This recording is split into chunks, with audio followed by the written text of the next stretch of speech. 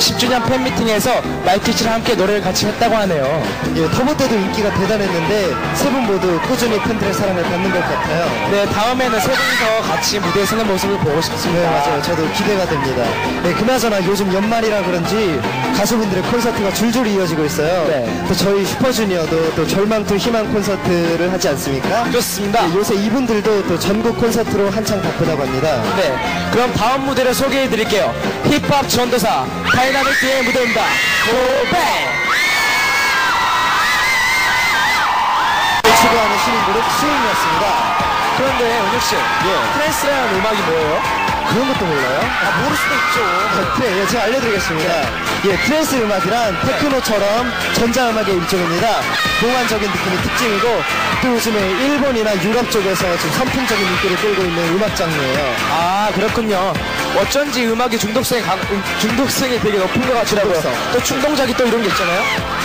아, 예, 그렇습니다. 뭐 이거 이렇게 하면 또 살도 많이 빠질 것 같은데. 예, 또 중독 얘기를 하니까 네. 이분들이 생각이 나는데요. 지금 이 다섯 남자한테 중독된 분들이 한둘이 아니라고 합니다. 예, 이분들이 이 집으로 컴백했다고 하는데요. 네, 떠오르는 그룹 WS50의 무대입니다.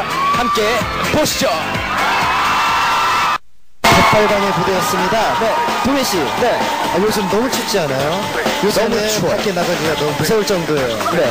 아무리 추워도 바다는 얼지 않는 법. 그래서 저 동해도 문제 없습니다. 오, 이제 또 춥다고 하는 거예요. 제가 맨날 구박할 거예요.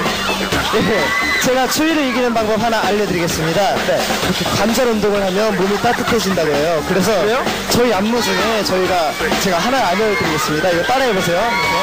하나, 둘, 어, 셋, 따뜻해지고 넷. 있어요. 하나, 둘. 여러분 따라 따라해보세요. 따라해보세요. 따라해보세요. 따뜻해질 거예요.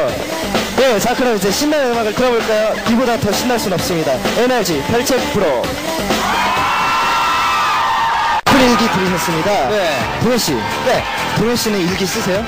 작년까지 썼는데 요즘 들어 잘 귀찮아서 못 썼어요. 아, 그러면 안 돼요. 일기를 써야 하는 이유가 있어요.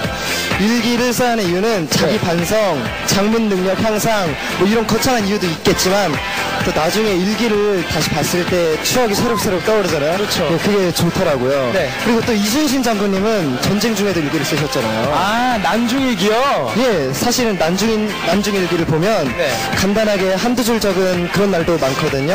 네. 그러니까 짧게라도 하루 일과를 돌아보는 것은 참 의미가 있을 것 같습니다. 네. 동현 씨도 저 오늘부터 좀 일기를 다시 쓰시죠. 그렇죠, 써야죠. 근데, 은혁 씨. 예. 제가 일기를 안 쓰면 어쩔 건데요? 도대체 어쩔 겁니까? 어쩔 겁니까? 어, 잠깐만요, 잠깐만요. 잠깐만요. 지금 네. 문득 생각난 무대가 있어요. 무슨 무대요? 지금 원타임이 준비하고 있는데요. 네. 제목이 참 특이해요. 뭔데요? 어쩔 겁니까?